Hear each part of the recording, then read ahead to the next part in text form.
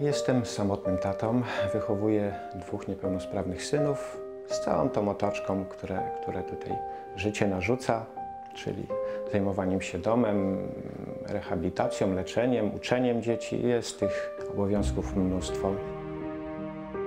Dobrze, Oskarku, damy zupy, tak? Damy rosołku. Już tatuś nakłada, już.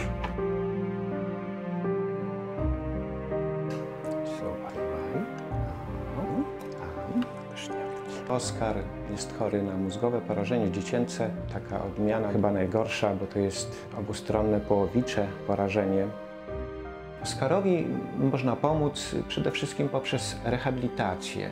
Rehabilitację przede wszystkim ruchową, która, która usprawnia, uśmierza ból. Natomiast y, y, równie ważna i może nawet ważniejsza jest taka rehabilitacja neurologiczna w sensie rozwoju emocjonalnego. Właśnie cyberoko, wynalazek ostatnich lat i super fajnie, że coś takiego się pojawiło, bo to jest dla nas ogromna szansa. Oskar już uczestniczył w paru takich zajęciach i to naprawdę gdzieś tam przyniosło znakomite efekty.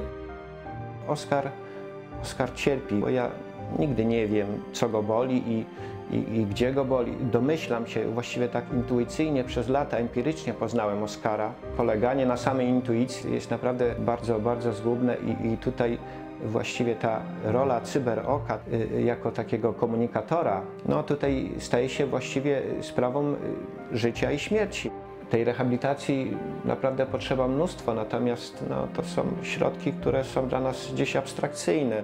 Myślę, że oddałbym wszystko, gdyby, gdyby udało się tak jak za pstryknięciem palcem, prawda, y, wyleczyć go, żeby wszystko minęło. Niestety mózgowe porażenie dziecięce jest chorobą nieuleczalną.